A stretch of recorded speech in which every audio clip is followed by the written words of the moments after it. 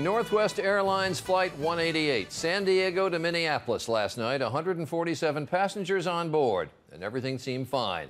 The plane got to Minneapolis and then kept right on going. For more than an hour, controllers couldn't raise the pilots by radio. Fighter jets were put on alert. The plane flew on to Wisconsin, then looped around and returned to Minneapolis. Were the pilots asleep? Were they, as they claim, in an argument? Either way, it's not terribly reassuring. We begin tonight with Lisa Stark. Northwest Flight 188 overshot the Minneapolis airport by 150 miles before air traffic controllers were able to raise the pilots. The Airbus A320 was over Wisconsin when flight controllers finally turned the pilots back toward their destination. They weren't just distracted for a little bit, they were distracted for a good long while. And that, that seems to be quite extraordinary. Sources tell ABC News the last radio contact with the plane was at 6:46 p.m. Central Time. 10 minutes later at 6:56, Denver controllers tried to hand off the pilot to controllers in Minneapolis. There was no response from the cockpit. The plane, with 147 passengers on board, never began its descent to Minneapolis and just kept flying at 37,000 feet right over the airport. It wasn't until 8:14 p.m., more than an hour later, that controllers and pilots reconnected. The flight landed more than an hour late. Passengers had no idea anything was wrong until they pulled up to the gate. Suddenly there were cops all uh, airport police all over the airplane and they told us to sit back down. So we all sat back down, wondered what was going on. They went into the cockpit, didn't say anything else and then said, "Okay, everybody off the plane." The National Transportation Safety Board said pilots have told authorities they were in a heated discussion over airline policy and they lost situational awareness. But the NTSB told ABC News they are also investigating whether the pilots may have fallen asleep in the cockpit.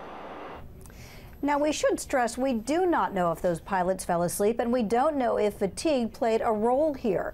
But it has before, and pilot fatigue has been such a long time concern, so much so that the FAA and the airlines are now working to rewrite the pilot work rules. As for the pilots on this Northwest flight, well, Delta Airlines, which now owns Northwest, says those pilots are grounded until the investigation is complete. Uh, Charlie. Right, Lisa Stark reporting from Washington tonight. Thanks. And we asked our aviation consultant, John Nance, about this story. John, doesn't it strain credulity that two pilots could be out of radio contact for more than an hour and overshoot their destination city by 150 miles? Well, it does to a certain extent, Charlie, but uh, this sort of thing has happened a few times in the past before where you've had a very sleepy crew and they've both tried to uh, stay awake, they've both gone to sleep and, and stayed asleep for too long. Now, in this particular case, we're told the explanation is something different, but uh, this bears all the earmarks of a crew that's gone to sleep. You would suspect that they had dozed off. Well, I, I would say actually there's less than a 1% chance that there's any other rational explanation. This is not a crew that is engaged in doing something else. This is a crew that really is not conscious at that point in time. And, uh, and the other part of the earmark is the fact that we as pilots are constantly maintaining an, uh, a listening watch for air traffic control. You can't just wait for a light to come on to tell you that they're calling you. You have to listen all the time, every minute. And uh, to be out of contact for more than 10 minutes for any pilot, it starts nagging at you. John, if they were asleep, would the passengers been in danger? There is no way for me to sugarcoat this. If the uh, sleepiness had overtaken them and it continued until they ran the airplane out of fuel, yes, the passengers are most definitely in danger. Shock you as a former pilot?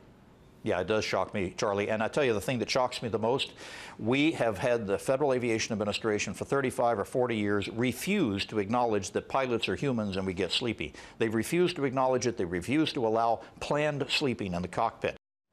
John Nance, our aviation consultant, the conversation we had a few moments ago.